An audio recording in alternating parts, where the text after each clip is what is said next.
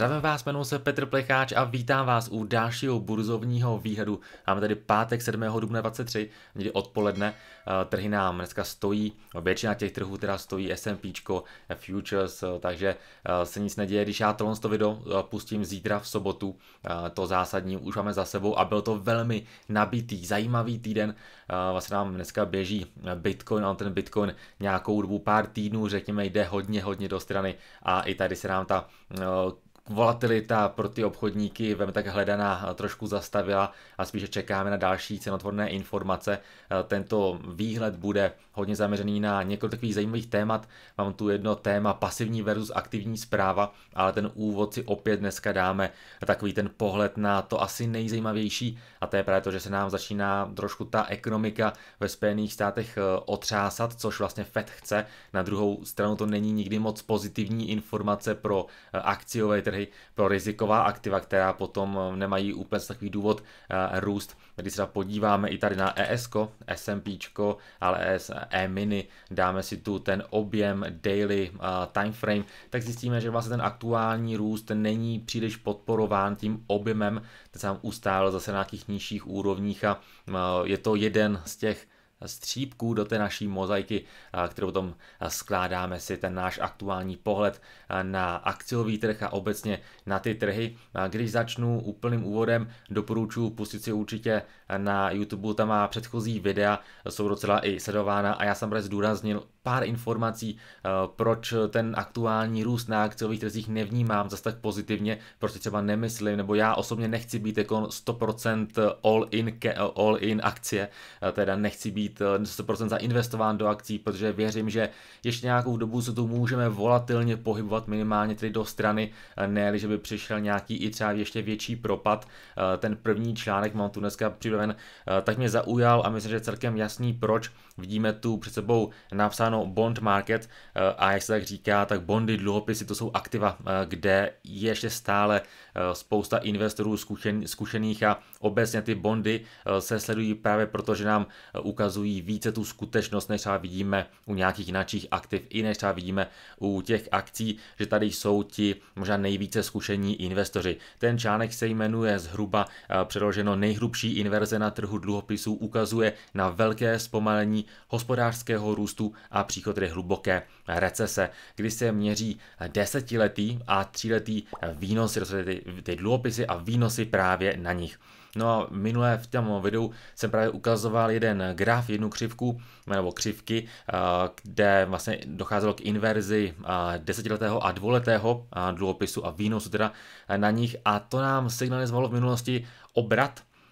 ta inverze a většinou to znamenalo potom propad na akciových trzích. Taková byla minulost, nelze to vždycky přenášet na tu současnou situaci, nicméně teď máme v hlavní roli trošku jinačí graf, ale vypadá taky velmi, velmi zajímavě. Mm, tady je jeden eh, velmi pěkný graf, ale byl tady ještě jeden schován. Zajímavější, já jsem si ho eh, vystřihnul před nějakým časem, kterého jsem ještě eh,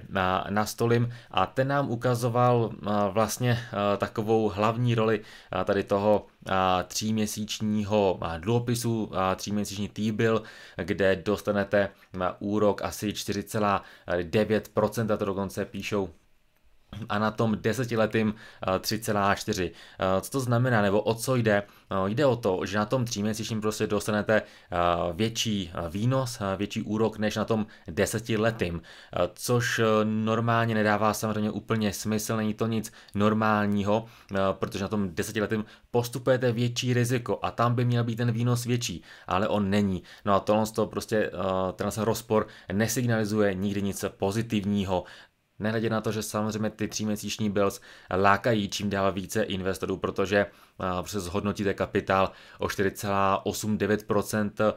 myšleno tedy per annum, ale bez nějakého rizika versus třeba ten akciový trh, který se více a více ten kapitál přesouvá právě do těchto, do těchto aktiv. Ten článek potom nějak pokračuje dál, jednoduše obavy z příchodu té recese, vlastně poprvé vidíme nějaký větší nebo hmatatelnější důkazy toho celoročního cyklu zvyšování sazeb od Fedu. Vidíme se zpomalování a ochlazování toho trhu práce a tady se dokonce píše, že velikost inverze může být přímo spojena s velkým zpomalením hospodářského růstu. Model předpovídá hlubokou recesi na to rozpětí opravdu brutální v minulosti, to tak prostě znamenalo. Potom na to vlastně volně navazuje i druhý článek a to je tento opět eh, trošku samozřejmě eh, negativní, ale znovu nám to popisuje eh, to hlavní a to je to, že investoři začínají vnímat ochlazení na tom trhu práce, což by eventuálně tedy mohlo opravdu signalizovat vstup do té recese. S tím, že máme ještě zlato na té dvěma tisíci dolary, blízko svých maxi, máme tu stále probíhající bankovní krizi, v ohrožení jsou malé a střední podniky, čili je to, je to vlastně další do té, do té série jako několika posledních velmi zajímavých článků, plátků, kde se to nějak skládáme dohromady a vnímáme, že ty trhy se, ten trh se roste, akcie rostou ale to, co je zatím, není dvakrát pozitivní a v minulosti to přinášelo většinou něco velmi negativního. Ano, tentokrát to může být jiné, ale vždycky, když si tohle to řeknete, tak to potom dopadne, tak jak to prostě bylo v minulosti. Čili velmi negativní, když se podívám potom na další informace, mám tady ještě další zprávy z trhu, to si opět potom projedeme v těch zprávách z trhu. Nicméně něco si tu musíme ukázat, tak to jsou právě tyhle ty eh, data ADP, NFP, teďkom před malou chvíli vlastně vyšlo NFP, eh, jak říká Jan Berka, špatná čísla jsou špatná, že by, ano, viděli jsme velmi špatná, horší data u Jobs Jobs, jobsy nám klesly, čili už se nevytváří tolik volných pracovních míst. Eh, ADP bylo vlastně taky podstřelený, očekávalo se 200 nových pracovních, 200 tisíc nových pracovních míst, nakonec to bylo 145. Uh, od vlastně celý ten týden špatná data služeb PMI ve Spojených státech, dokonce se vlastně očekával někde i třeba růst, nakonec to byl pokles uh, u těch manufakturních, u té výroby jsme stále ještě v té uh, kontrakci, který se očekával růst, nakonec to byl pokles výrazný, čili hodně, hodně postřelený a hodně negativní informace. Eh, stále teda je v Americe 1,7 pracovních míst na jednoho nezaměstnaného, ale vnímáme tu první takové opravdu velmi silné ochlazení no, v tom trhu práce, čili Fedu se podařilo konečně něco rozbít, ty sazby začaly, začaly působit. Eh, na druhou stranu trh stále ještě investoři stále ještě očekávají eh, tento rok troj, trojí snížení sazeb. Třikrát tři katy. Eh, to je aktuálně, je započítáno, eh, je to zhruba komsi komsa eh, stejné, zda se teď v květnu, zda v květnu FED zvýší sazby, anebo je, nebo, nebo je ponechá bez změny. Zatím to je opravdu takové vyvážené, ještě tedy s ohledem na to, že a dneska vyšla právě nová data ekonomická, když za všude jsou svátky, tak dneska NFP uh, byl tu jasný pokles uh, z těch 320 na 230 tisíc nových pracovních míst. Očekávalo se možná o trošku víc. Není to nějaký brutální pokles, ale je to taky ochlazení a Eh, zas to ale není tak velké ochlazení, aby Fed eh, už nezvyšoval a začal rychle snižovat ty, ty sazby. Stále tu je velký tlak, stále roste, nebo neroste tak moc, ale ty 4%, pokud jde o tu průměrnou hodinovou sazbu, tak to je pořád eh, docela silný tlak, roste nám taky cena ropy a tak dále, klesá nám dokonce nezaměstnanost, to je něco, co Fed úplně jako si nepotřebuje vidět, čili důvod, aby Fed rychle obracel, aby už ne nezvyšoval a aby naopak snižoval sazby. Vypadá to, že, ten, eh, že ti investoři dřív nebo později prostě budou muset procitnout. Zatím podle těch dat eh, to podle mého opravdu signalizuje na to, že Fed bude muset jet tu hru, kterou teď aktuálně má nastavenou a že dřív nebo později ti investoři se prostě chytí. Kdy Fed balance sheet začíná nám se to taky pěkně otáčet. Jednoduše to utahování tam pokračuje, i když Fed dál pomáhá těm bankám. Další velký pomoc, pomoci tu probíhají, aby ten bankovní sektor úplně neskolaboval. Nicméně Fed vypadá to, že opravdu se bojí více té inflace než čehokoliv jiného a proto bych neočekával nebo nepočítal s tím, že Fed najednou otočí a budeme tento rok třikrát snižovat ty sazby. Stále tu hodně, hodně problémů, když Štěpán Hayek ještě srovnává třeba Nasdaq s US 2000, znamená ten technologický sektor se small caps a i vidíme, že vlastně v minulosti a třeba když ten Nasdaq nám trošku ustřelil a ty small caps se to nějak úplně nelíbilo, tak docházelo k dalším, dalším propadům na těch akciových trzích. Tak vidíme dost podobný scénář. V minulém videu jsem to právě komentoval, že nám ten technologický sektor začíná hodně růst, že tam vnímají investoři nějaký bezpečný přístav, pro mě něco nelogického, ale znovu nám to vlastně nepodporuje tady ty small caps. Další vlastně indikátor toho, že pozor, dejte si pozor na to, zda teď se chcete úplně stát těmi akciovými full a jít do toho all in, že už jdeme na all time high, spousta, spousta signálů, že tomu tak být nemusí. Může, já to nevím, neví to nikdo, já se chovám tak, že ještě můžeme zažít něco divokého na těch trzích. Taky máme vlastně před sebou sezónu výsledkovou, takže to bude taky možná pěkný, pěkný odpich. Tady si dáme teda za chvilku nějaká ta další data, další obrázky, informace, tolik asi takový ten můj ten můj úvod opět do toho nejzajímavějšího z tohoto týdne dochází k ochlazování na tom trhu práce.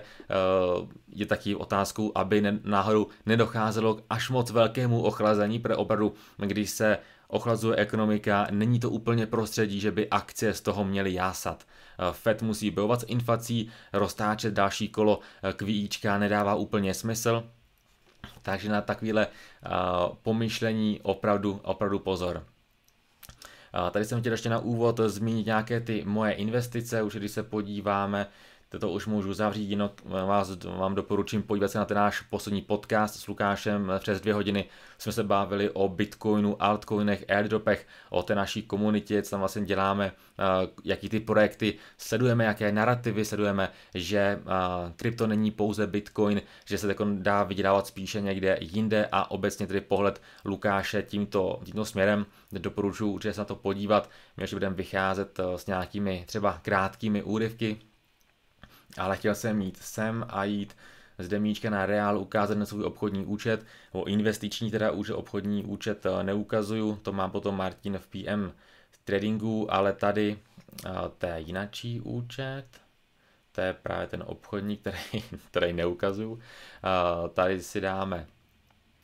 tento investiční účet z dlouhodobého hlediska, dokonce jsme už pod tisícovkou ztrátový, opravdu ty akcie rostou, rostou i takové ty mýmy trošku. Já jsem tu teď, teď vlastně nepřikupoval nic zásadního, posledně to byly právě ty banky, finanční sektor a ropa, ropáci, to se nám vlastně dostalo tak nějak všechno do nějakého menšího zisku, ty ropy Tedy ti ropáci, tam to bylo zajímavý, BPčko, poslední nákup plus nějakých 14% teďkon, tam to skutečně vyrostlo a pro mě to je spíše další možnost podívat se po nějakých potenciálních prodejích Meta 119%, nádhera za takovou krátkou dobu a dá se to, to hrát různými způsoby, ať už shortama, eh, ať už přes páku nebo bez, a nebo právě třeba zavíráním eh, nějakých částečných profitů. to se teda to mé portfolio, to, co já jsem byl aktivní, vyloženě jsem něco nakupoval, tak to opět byly ty alternativy vlastně, čili na portu jsem, jsem nakupoval nějaký kameny, na Investownu jsem nakupoval i dneska vlastně tam ten nový projekt na Finguru, a tam byly zase nějaké nové možnosti. Jedna mi utekla, utekly mi tady ty ložnice, 8 měsíční pouze, a to bylo zase rychle pryč do těch 3 milionů, a to zmizí rychle, ty tu jsou otevřeny dva, ty projekty v obou dvou, už mám zainvestováno ten car service, to už to je po několikátý, on to vlastně nějaká mm, šest, šestá, nebo bude, bude šest těch etap, Jinak pokud jde o to splácení, teď se mi psali nějaký komentáři, jaký s tím mám teda zkušenosti, které víte, že mám zainvestováno v těch eh, dvou, co tam jsou aktuální. Zatím se všechno splácí, všechno v pořádku, takže Zatím to je všechno, všechno OK, jedna úspěšně splaceno, dvě tam byly nezafinancovány, tedy tady zatím to pro vás testuju a zatím to nevypadá úplně špatně, takže Fingood máte odkazy dole v komentáři pod s tím videem i s tím, i vlastně s tou poslední, s tím srovnáním toho Fingoodu, Investownu a Portu, co to má vlastně znamenat. Teď bych si ještě podíval na jedno téma, či to, to bylo ten reál, to si můžu rovnou překlinou a jedno téma si dáme ještě a to bude to aktivní a pasivní zpravování, aktivní pasivní zpráva. Prolí toto Fintwitem teda neskutečně, tady na to reagoval Petr Žabže, ale první to spustil tady pan Skavin, Skavin dělá docela pěkné, zajímavé články a to ten první byl, že se podíval na výkonnosti různých akciových fondů známých českých portfolio manažerů, například pana Daniela Gladiše nebo Jana Hajka a porovnal to s dalšími třeba ETF-kami, No a zbudilo to neskutečný rozruch,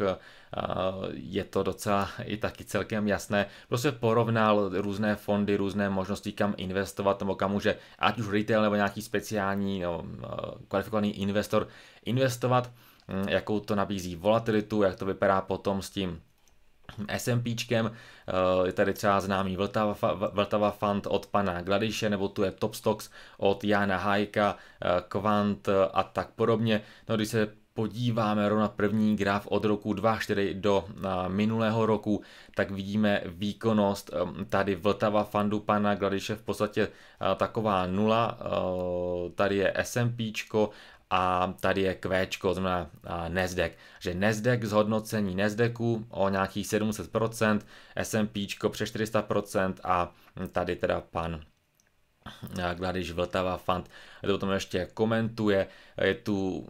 no, Gladiš měl velmi špatný rok v roce 2008, kde ten fond klesl o 85,6%. Byl to pátý nejhorší výsledek všech fondů vůbec. Následující rok potom eh, dokázal zhodnotit o 200% a byl to nejlepší najednou hedžový fond. Nicméně, jak tady píše, matematika je neúprosná. Pokud máte 100 korun, eh, klesne vám jmění na 15 korun, když odepíšete 85%, no a potom, když z těch 15 korun dáte 200%, tak vám to nepomůže eh, dostat, dostat se vlastně tak, eh, kde jste byli předtím, tedy to je vlastně vidět pěkně na tom, na tom grafu, to je ta krásná matematika. Eh, takže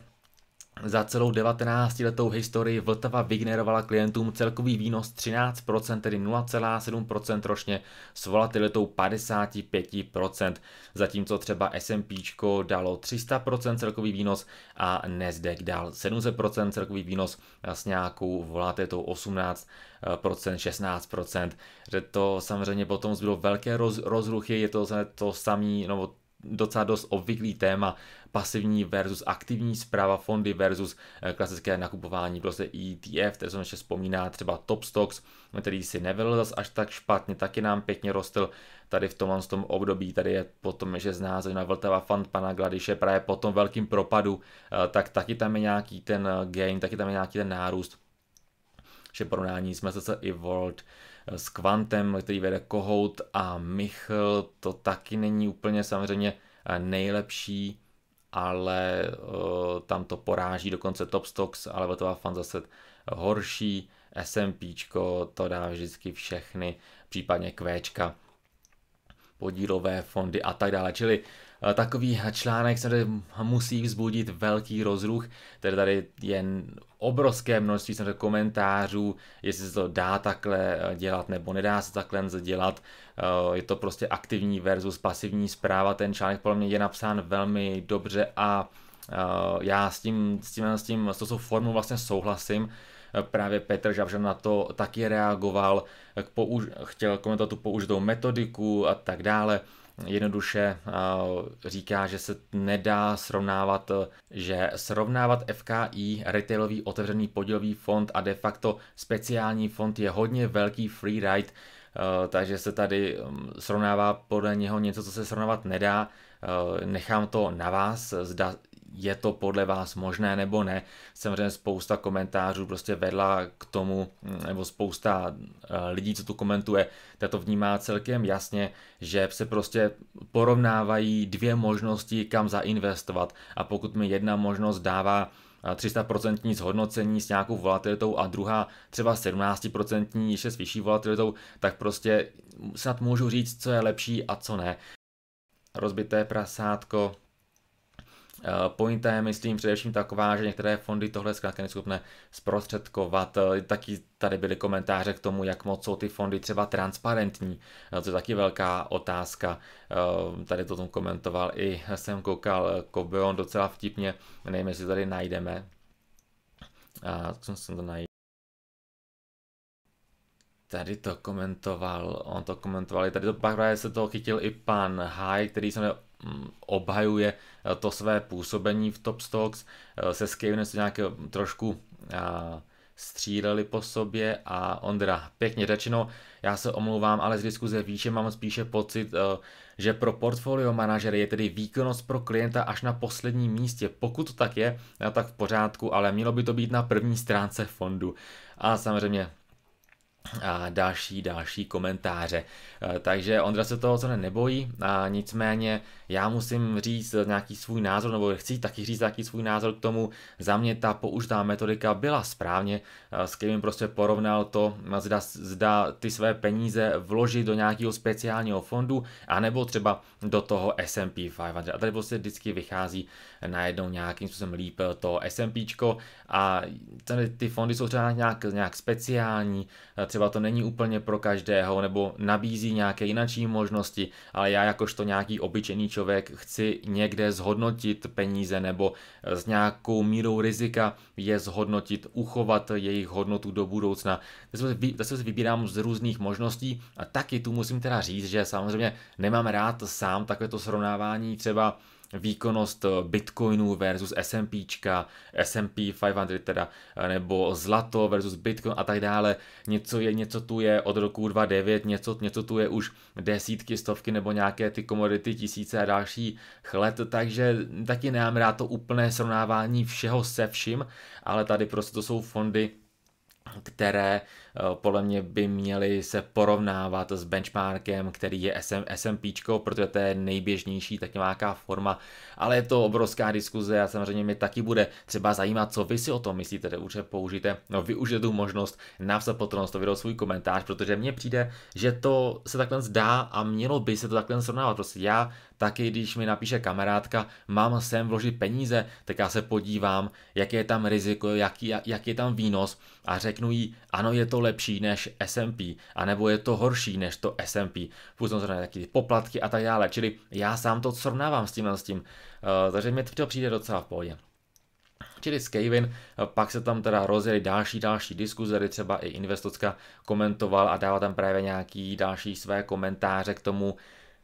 takže děkoval Petru Novotnému za tu práci, vlastně, vlastně srovnal výkonnost SMPčka, Vltava Fund, tady nevím, jestli, jestli jsou nebo byly nějaké v minulosti třeba rozbroje, tady si třeba investorka stěžuje právě na to, že když si žádal o nějaké informace, tak mu bylo od, od Vltava fondu tady poslán ten, ten graf, který vlastně vypadá, že Vltava Fund naprosto překonává MSC i World Local Currency, což třeba i může být, to uh, není nic proti ničemu, ale jestli to náhodou není nějaká kusá informace, delší vývoj mi odmítli poslat, já to vlastně nedokážu nějak extra vyhodnotit, protože já jsem s někým také nekomunikoval, nevím, kde je pravda, já osobně třeba nechci tady nikoho doporučovat, hanit nebo někoho vyzdvihovat. Podle mě každý by si měl mít ale možnost zjistit, jak na tom, jaký ten ETF fond nebo jakýkoliv další specializovaný fond, jak na tom je. Eh, ty by měly být teda transparentní, jak to S&P nebo nějaký další eh, taký pasivní třeba fond zpravovaný, jak by měl být transparentní a jak i další ty fondy. No a pak ať si každý zainvestuje do, do toho, čemu si myslí, že se bude v budoucnu dařit a čemu třeba více věří, ale tady teda obrovská diskuze na, na Fintwitu, když se podíváte na nějaký ty články, že vychází velké množství článků, že 80% všech spravovaných fondů aktivně tak zaostávají za tím ETF, no za tím klasickým pasivním, pasivně spravovaným fondem se známá prostě Katie Wood třeba dokáže, nebo Katie Wood dokázala porážet v covidu třeba Warna Buffetta a další extrémně se jí dařilo, pak přišla krizovka a najednou šup a byla najednou opět horší než Warren Buffett třeba. Za mě takový ten uh, základ nebo to, co i třeba využívá spousta lidí, i třeba já, uh, tak je to, budovat si nějaké to dlouhodobé portfolio třeba na tom S&P 500 nebo na MSC Evolve, prostě ETF, tam mít nějaký ten základ a potom třeba i stockpickovat, vybírat si, pokud třeba já fandím sektoru cybersecurity, pokud věřím, že budoucnost je i ve vodíku, pokud se mi líbí ESG, pokud se mi líbí třeba jenom Microsoft jako takový, věřím, že tam má otevřené dveře do dalších kanálů, tak prostě třeba investuju trošku více tímto a tímto směrem a buď to porazím S&P, anebo trošku za ním zaostanu díky těm si třeba špatným stockpickům, ale ten základ podle mě eh, pro retailového investora S&P jasný a potom ten stockpicking a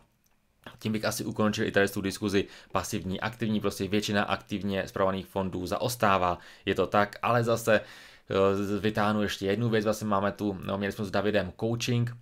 Teď Monoson taky tady vlastně u nás na Discordu učil a stále ještě učí vlastně v té veřejné části eh, investory, jak aktivně to portfolio zpravovat a musím říct, že třeba, on měl o dost lepší výkon eh, na tom svém portfoliu než eh, to S&P v roce 2022, když tady docházelo těm propadům, David dokázal vlastně vydělávat a být stále likvidní. Šel má své pro a proti, Zase, zase třeba ten aktivní správce v tom největším bull runu, když nebude prostor, jak vlastně znovu vstoupit do toho trhu, tak zase bude třeba mít menší tu výkonnost. Je tam více těch metrik, ale pokud je třeba nějaký fond, který je více volatilní, více rizikový a vynáší míň než ETF na S&P 500, tam podle mě se to prostě dá srovnat a mělo by se to srovnávat, ale to to nechám klidně i na vás, asi to tom uh, popřemýšlíte sami, zda to jde nebo nejde a co je pro vás to vhodné. Tady to máme ten, tu aktivní pasivní zprávu, co jsem se tomu chtěla říct. Na Instagramu máme nějaké další komentáře, tady vlastně máte i potom případně si můžete třeba pustit eh, nějaké ukázky z toho našeho povídání s Lukášem, hodně se vám líbil tady ten zelený čtvrtek, včera, máme svátek teď, všechny odkazy máte dole v komentáři pod s tím videem, jen si sledujte, zda sledujete třeba mě, protože mám spoustu eh, skemů na sebe navázaných, takže je takový úděl. ES můžeme už smázat si BTC, USD, BTC eh, na pozdější analýzu. Už bych chtěl jo, říct, že mám, eh, asi už to víte, ale pondělí, středa u mě patří videum na Patreonu a pro XTB reální klienty takže a středa ještě vlastně patří edukaci. Ve středu mám vždycky edukační okénko, tento týden tam bylo COT, které jsem vlastně probral to, co já mám vlastně na to online kurz Market Profile a techniku COT, tak jsem tam probral tu část COT, abyste viděli, jak to vlastně vypadá, takové to profi obchodování komodit a analýza těch komodit. Tady si dáme potom ještě on-chain, Finvisko, eh, ekonomický kalendář, eh, začíná nám sezona earnings eh, v dalším týdnu, o jaký hodně zajímavý, samozřejmě nám to trošku možná rozhodí to, co jsme teď tady říkali, ale já si myslím, že uvidíme první takový silnější zářezy, startují to samozřejmě opět v pátek ty banky JP Morgan, City, Wells Fargo, BlackRock, možná se dočkáme konečně nějakých tvrdých dat, jak to opravdu vypadá s tím odlivem kapitálu, ve středu to už bude LVMH, tím se dařilo díky vlastně otevírání Číny, Delta, jak to vypadá s cestováním, Tilray a další, takže earnings uh, bude v plném proudu od toho nového, od toho nového týdne. Co jsem ti ještě chtěl takto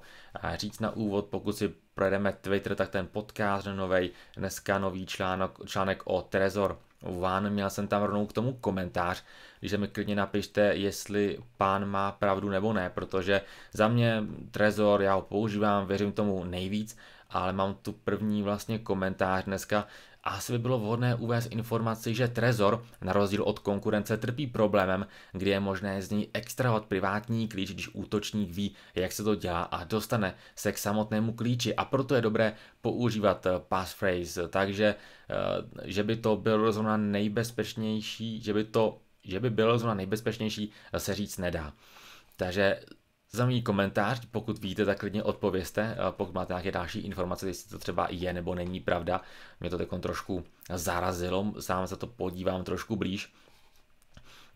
Pražská burza, jo, XTB má nový e-booky, Tedy několik e-booků máte všechny odkazy dole v komentáři pod tímhle s tím videem. Jeden, jedním z nich je právě e-book na BCPP, takže 30 let pražské burzy a komentáře, tomu je historie, vývoj, teď potenciální i vlastně konec třeba Česu na pražské burze a obecně prostě proč se třeba i dívat na české akcie, na ten náš český rybníček, diversifikace, dividendy a tak dále. Myslím, že celkem jasný, jak to, jak to je Bitcoin v Apple, to se podíváme později, tak to by asi byly ty Twitter novinky, že vás pozvu určitě na PM Trading, na tu naší eh, komunitní uh, skupinku, kde teda já tady uh, spolu s Martinem právě dávám i něco veřejně. Martin tu třeba bral velmi slušný zisk na VTIčku, na ropě, se mu podařilo tady ten krásný trade swingový a vlastně vy to máte potom na tom našem Discordu, kde to vlastně vidíte, vidíte živě, nebo tam si o tom právě můžeme všechno psát pak když půjdete ještě na uh, tu naší, náš druhý Twitter, CryptoDrop 34 právě vede uh, Luky z toho našeho podcastu, tak tady zase máte ty největší, nejčerstvější informace, co vlastně týká krypto světa a obecně toho těch airdropů, stakingu, už je to, na čem my teda vyděláváme v tom krypto VIP, XTBčkový, tady máme dneska třeba komentář, jestli používáte někdo eh, vize, když si posíláte k XTBčku peníze, akcie tu, to bylo hodně taky zkomentováno, demo účet a samozřejmě třeba větší stop loss nebo větší ztráta, než byl ten původní stop loss, takže pokud vás zajímá XTB, tak máme tady tu skupinku XTBčkovou, Tady máme kryptosprávy, tady máme za chvilinku a samozřejmě ten nejvě, ta největší skupina 6,5 tisíc členů na tady tom Facebooku, pokud máte rádi Amazon nebo ne, tady další komentáře, určitě nějaká sranda, určitě nějaký komentáře, to by bylo ale asi na ten úvod, se jenom podívám, jestli jsem něco ještě chtěl okomentovat. Máme tu růstovky, ropu, já jsem dával Maxi, Trezor One, stále ještě probíhá a asi to bude i probíhat v květnu od Instaforexu, možnost si vlastně založit účet a mít tam měsíc bez poplatků při obchodování ropy a zemního plynu a je to asi hodně oblíbený instrument, protože máte tu nový e-book od Purple a to je obchodování ropy. Jednak tu je článek právě, jak může vypadat swingové obchodování ropy a pak si právě můžete stáhnout e-book, čili jak obchodovat tu ropu, jak využít price action, ty mají takový vlastně pár dva takový nový e-booky. Já když jsem se vzdělával, tak jsem si stahoval všechny ty e-booky, mám jich v jedné složce a myslím si, že se to samozřejmě opakuje, ale pokud jich nemáte, tak doporučuji tímto jsem tak vlastně, vlastně nějak schraňovat, protože e, v budoucnu potom si vzpomenete, že třeba byste chtěli více porozumět ropě nebo price action nebo něčemu jinému, tak se vám to vyplatí a XTB má kromě e, té pražské burzy ještě jednu ještě jeden e-book, na kterým pracoval, myslím, i dokonce Štěpán Hájek a to jsou eh, top růstové tituly. Já jsem se na ně podíval, na pět zemových akcí eh, v portfoliu, myslím, že nemám ještě ani jednu. Eh, Některé se mi tam líbí, tak je sleduju, ale samozřejmě růstovky jsou spojeny i třeba s nějakým větším oceněním, větším vyšším rizikem a tak dále, čili opět doporučuji stáhnout si to a podívat se, zda to dává nebo ne smysl. Myslím si, že jsou zajímavě vybrané, i pro mě některé tam jsou, ale ještě vlastně nemám žádnou pokud se nepletu, v tom portfoliu nebo možná nějaký zbytek někde jinde v nějakých těch zlomkových, ale nemám je úplně, že bych jim extra fandil. Maxi, kryptoburza, my jsme dělali recenzi na Mexíčko. Mexí teď využíváme nejvíc v té naší právě krypto VIP komunitě, protože Maxi je taková pověstná, tím tam je spousta těch altcoinů, kde vlastně my potřebujeme být právě u těch menších projektů, který dávají ty největší gainy, takže proto Maxi, Maxi se teď hodně začíná objevovat, začíná to být taková nový, nový hit, je bezpečná, je známá a má tady k tomu ještě referral kód, samozřejmě máme refko, takže 10% sleva na poplatky a i nějaký bonusy vstupní, je tam až tuším 1000 dolarů bonus. Uh, nevím teď kolik uh, nám hlásili členové, že dostávali ty vstupní bonusy, ale je tam tady ta sleva, plus ještě mám vlastně spolupráci s Maxi, takže kdo je i u nás na tom Discordu, tak tam potom budou do budoucna i nějaký možná další slevy, bonusy, dárky, ale to už je potom právě pro tu naší Discordovou skupinu a Trezor One článek doporučuji si přečíst. Za mě nejbezpečnější hardware peněženka, jak jsem říkal, první komentář mě tu trošku zmátl, tak mi když se dejte vědět, zda k tomu máte nějaké blížší informace. Tolik asi na ten úvod, tady ty mé alternativy, ropa, e-book, price action, růstové akcie a tak dále. To by asi možná ten úplný úvod si myslím dokonce snad stačilo a teď se podíváme na kryptoměny a na CoinMarketCap. Pokud jde o krypto, zase se nám toho tady tolik neděje, ty servilní změny nejsou nějak zvláště velké, ať už jde o altcoiny či uh, ty uh, největší coiny, Dogecoin tam pumpoval i díky Maskovi, na to se podíváme taky za chvilku, vlastně pokud jde o on-chain, uh, odliv půl miliardy bitcoinů, půl miliardy dolarů z burs, kde o bitcoiny, je velmi zajímavý, tady ten vlastně náš výhled byl teď směřován na stablecoiny, tady jsou stable třeba na Binance, vidíme tady docela solidní odliv, jedná se o největší čistý odliv v historii, pokud o stable minus zhruba 300 milionů dolarů za den, odchází z těch burz, um, pokud je o Binance, tak je to taky docela záživný z BUSD, kde celkově pohled na stable, který jsou už nedílnou součástí toho kryptosvěta, tady pokud jde o Bitcoin, technická analýza, Nemám rád moc čmáranice, které nedávají smysl. Tady u toho Bitcoinu jednoduše vidíme ty úplné základy, to, co vlastně by nás mělo jako první trápit, taky, že vidíme, kde ten trh v minulosti čopoval. Vidíme ty největší čopy, tam ten trh se potom rád vrací a dál tam vlastně kumuluje to, co u toho Bitcoinu je za mě naprosto zvláštní, je, že on se usadil vlastně v té oblasti pod touto zónou. On vlastně tady kumuluje pod tím, takže já jsem osobně očekával odraz, buď to zpátky pullback na tu hlavní supportní úroveň, to je tady kolem těch 25 tisíc dolarů, tam stále ještě očekávám, že ten pullback tam vlastně přijde, tomu trhu to většinou přijde vlastně takové ochuzené, nedo, nedotažené, že ten trh se nevrátil sem zpátky na tu překonanou silnou rezistentní zónu, kumuluje nám tady pod tím, a podle tedy Bitcoin se čeká, čeká, co udělá S&P, jaký ten trend chytne. S&P jde mírně nahoru, je to pozitivní i pro ten Bitcoin, ale evidentně to nestačí na breakout, objemy nám tady klesají, začíná nám to trošku vyprchávat, taková ta euforie, dochází tu k výběžkům nahoře i dole, kumulace v zóně, kde bych já ji úplně nečekal,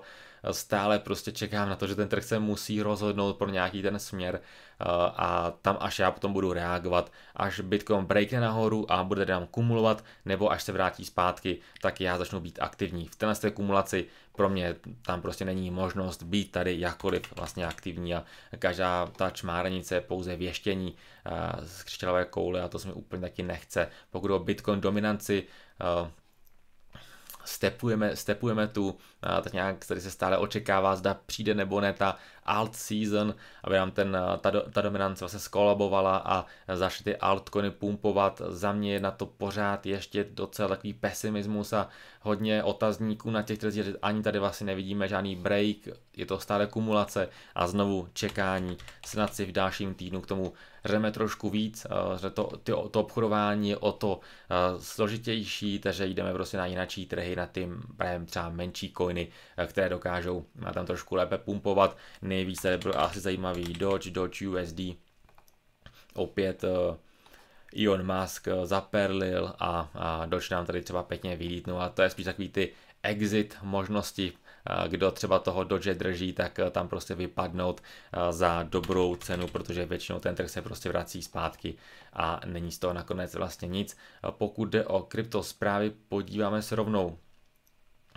na ně. Začneme tady tou ropou, inflation, inflace, rate hikes, je tu obrázek samozřejmě toho ropného prince, kde OPEC plus rozhodl se snížit produkci a tady se na něho Amerika J. Pavel dívá, co nám to děláš, nám zase rozhodíš Eh, tu inflaci, tak on to bude mít ještě vlastně těžší, eh, pokud ta ropa poroste. No a je tu hodně, hodně napětí globálně. Ale pokud se vrátím zpátky k těm zprávám ohledně kryptosvěta, eh, tak jak už se tady komentoval Elon Musk, který nahradil logo Twitteru tím psem, tady se dokonce z toho dělal srandový mýmko, to je stará fotografie, kde zastavil policajt tady toho Dodge je taková sranda, no, zase, zase tam vrátil zpátky na ten Twitter toho ptáčka, holci takhle hraje Elon Musk. Potom se objevilo, že Macy v nových uh, najdeme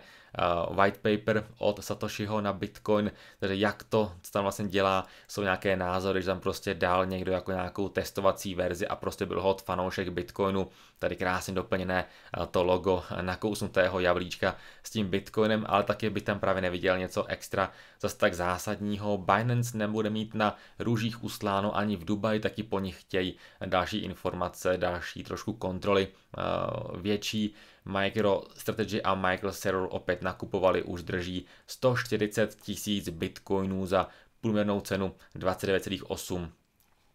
tisíc dolarů za jeden bitcoin a z Ameriky nám zní, že decentralizovaný kryptotrh je hrozbou pro národní bezpečnost. To, co je ale opravdu největší hrozba, tak to je pro třeba české firmy, eh, kteří chtějí podnikat s kryptem, protože banky od nich dávají ruce pryč a dokonce už i Equabank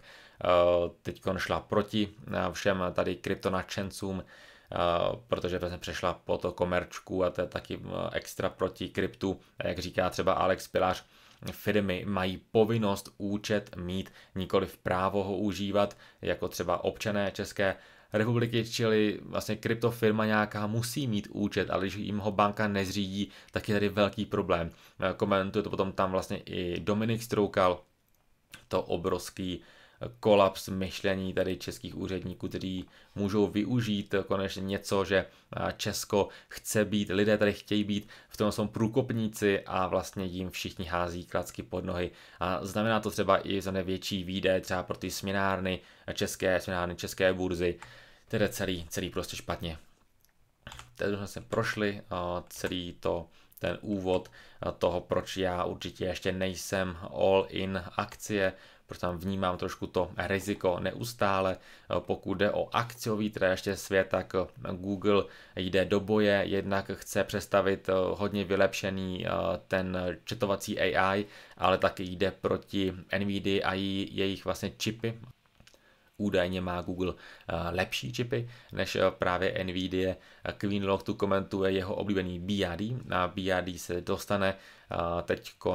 do Evropy, tady to za 250 tisíc korun se sodík-iontovou baterií, nevypadá to bude špatně, každý si představí vlastně to, to malý vozítko od Škodovky City Go,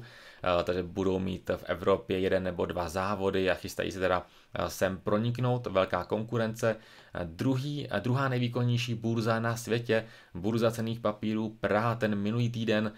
díky bankovnímu a energetickému sektoru zakončila pražská burza jako druhá nejvýkonnější burza. Index PX posílil o skoro 5% a porazil S&P, FTSE i Nasdaq. Virgin Orbit nám bankrotuje a schytali to i akcie, to je Virgin Galactic, které trpí v podstatě už od té covid mánie. Akcie měsíce XTB v Česku Erste, trošku se ta nějak dá očekávat, i když taky mě to překvapuje pro zóna Erste, ale Slováci Credit Suisse, to mě opravdu hodně překvapilo a mě se spíše líbí SoFi, tam hodně fandí v Rumunsku SoFi. Pokud jde o banky, tak trošku třeba nehezký pohled, jak to vypadá s nepojištěnými vklady u těch bank. Nejvíc to teda schytala SVBčko, ta už je teda pryč, ale vůbec dobře na tom vlastně není BNE Melon nebo Citibank z těch větších bank, takže ono to vlastně může být i docela dost ještě napnutý a napjatý v tom bankovním segmentu, ještě všechno vlastně není úplně tak za námi. Tady teda všimně tu zprávu ohledně OPEC+, kteří teda snížili tu produkci teď už suma sumárum o 2 miliony barelů tu, té ropy od oktobra. Americká produkce dál roste, ale Rusáci se v podstatě dohodli se, Saud, se Saudy a tu ropu prostě, tu cenu, tu produkci, pardon, teda snížili a negativně to potom vnímá i celý svět, nehledě na tedy Spojené státy americké, to je údajně to je taky tím, že Amerika ještě nedoplňuje ty zásoby. Tohle vlastně i to celá souvisí s těmi minulými týdny, kdy jsem tu informoval o tom, že Čína se Saudi začínají hodně kooperovat, chtějí využívat yuan, že Čína, tam vlastně došlo k placení toho LNG s Francií taky v yuanech, Donald Trump se toho vlastně chytá, že tady Čína může nahradit ten americký dolar jakožto nějakou jedničku, pokud o světovou měnu, takže možná to je to trošku možnost, jak na sebe nabalit ty voliče, ale není to úplně tak daleko od nějaký potenciální hrozby, kdy opravdu dolar může ztratit trošku to své postavení výsadní. Čína po návštěvě prezidentky Tajvanu v USA k ostrovu poslala letadlovou loď. To je něco, co prostě tady stále se bude ještě problikávat. Tady taky hrozba, eh, tady je to, to return, jo, SM, eh, co nám dávají akcie od roku 1802 do roku 2016. Tady vidíme celkem jasně, že se prostě stále vyplácí být v těch akcích a dolar ten šel na 0,049 od té doby z jednoho dolaru bondy, zlato. Tady si ukázali, další velký téma je ještě Japonsko. Já se tom nechci úplně hrabat, protože pro na mě to, nebo já se v tom až tolik nevyznám, jako třeba právě Honza Berka doporučuji sledovat. Tady se prostě řeší to, že to rozšíření toho pásma cílení výnosové křivky nic moc nezlepšilo a čeká se na nového guvernéra. Každopádně tikající bomba v Japonsku, všichni víme, to tištění peněz tam jede na plné obrátky a už to ani jinak neumí, ale asi někdy k tomu zaplacení toho účtu prostě bude muset přijít další nafouknutí a potenciální hrozby. Očekává se celkem špatné eh, výsledky earnings, ale vlastně i díky tomu špatnému očekávání mohou ty firmy docela dost snadno překvapit, ale není to prostě obecně nic moc pozitivního pro ten akciový svět kdy vidíme ty další, další, vlastně jsem už komentoval na tom úplném úvodu, když se ještě podíváme na jo, když jsem se kryptosprávy, neprošel jsem kryptosprávy dneska, ale ono to z toho tak uh, extra uh, nebylo ČNB, no tam jsme to komentovali, nějaký fóry, uh,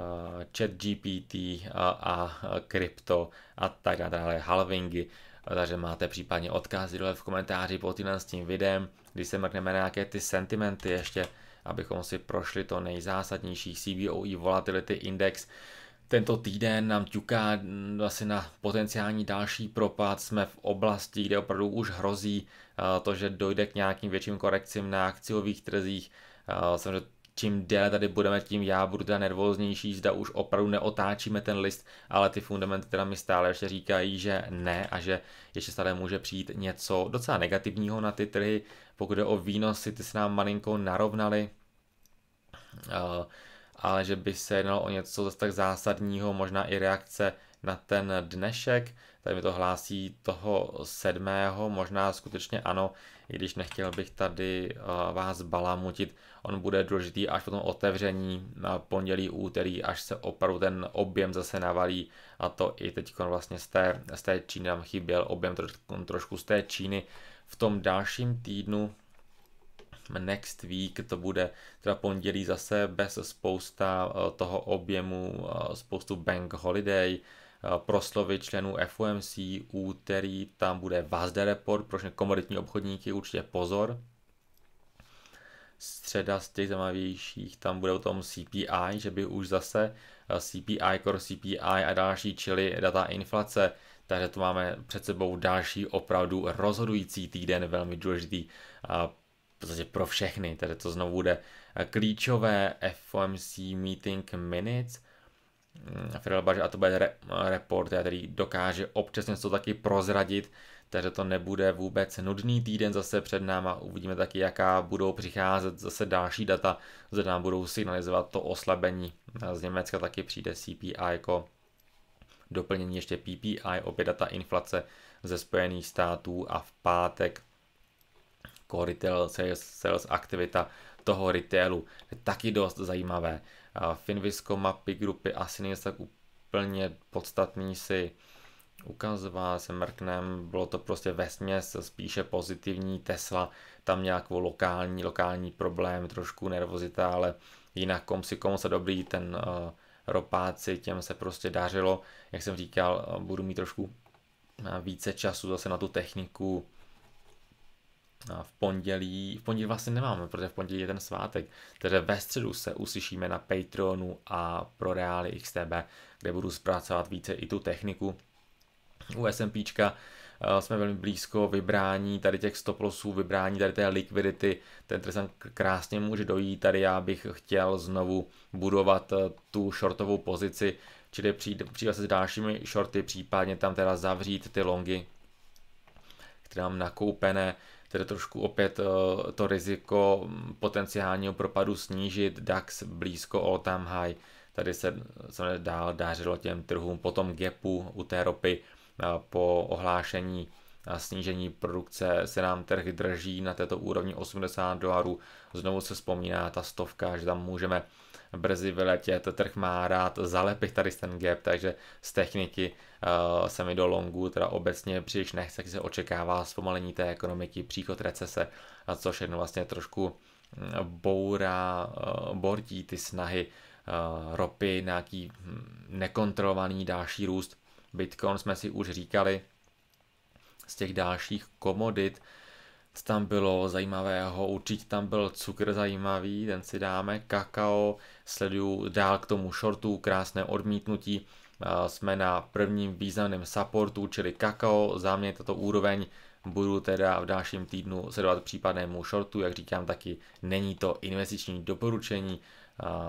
budu to potom i blíže komentovat na tom Discordu, cukr na velmi silné rezistenci, nádherný teda spike nahoru, tam dám nějak extra třeba rostou toho cukru nějak ta poptávka, SBčko, jsme máj, už je blízko, ale měl by nám to signalizovat. No vůbec, takže krásná divergence, lehká špička tu je, ale nějak extra se nám tady jaksi nechytá, že by tady byl nějaký velký strach z nedostatku toho cukru, ten se nám chytil teda díky té ropě, tady už nám no, ta poptávka docela jde ruku v ruce, s tou cenou, že taky to není nějaký extrém, no spíš za mě docela dobrá divergence a taky tu sledu možnost shortu, to už jsem říkal vlastně v rámci těch týdenních videí, v rámci toho Patronu, ale ten trh naštěstí dal nedal ještě šanci vstoupit do toho shortu, čili tady stále ještě čekáme, až ten trh prostě dá šanci do toho shortu vstoupit. Kukuhry jsem tak nějak probíral vlastně v rámci toho středečního videa, máte to na Patreonu, kávička v čopu, to není zásadního, Netgesko dál trápí těmi poklesy, pokud budeme ještě nějak výrazněji sníž pod dvojku, tak si zřejmě opět lehce přikoupím zemní plyn, měď nám drží, taky neví, zda dochází skutečně k tomu, k té hluboké recesi, tak je trošku zmatená. Ta Čína. Taky signály, jedno bylo zlepšení, druhý spíše zhoršení, pokud o PMI, jako je taky tam se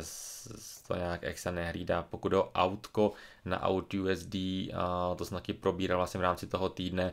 jsme v pěkném downtrendu, který nám tu breaknul, šel zpátky, někteří z vás mohou být už v shortu, chce to odřít podle mě spíše s volnějším stop lossem využít toho aktuálního downtrendu, čili out USD. Jedna z možností, co tak aktuálně teda sledovat na tom trhu Euro USD, nám došel na tu intraday resistance, otočil se předtím, ta už bude teda smazána, to chce jít pryč z těchto úrovní. Euro že to úplně nevzdává. Stále, jak jsem říkal, investoři věří, že Fed bude ty sazby tento rok už dokonce snižovat, ale může dojít velmi rychle k nějakému vystřízlivení, proto tedy já bych byl hodně opatrný s tím jít proti americkému dolaru. Naopak USD Kanada trh se hezky vrátil na první hezký support, takže já to budu dál sledovat ty možnosti, jak si přikoupit a jak být USD, USD long ale potřebuji k tomu určitě chování toho trhu, ať už třeba být v shortu na out USD, či NZD USD, anebo teda nakoupit USD Japonec. Japonec taky velký pozor, ten má své lokální problémy, řekli jsme si to s tím tištěním peněz, takže tam to chce možná i spíše trošku diverzifikovat. Tak jo, ale to je teda ode mě pro dnešek skutečně všechno. Mějte se hezky a u dalšího videa zase naslyšenou.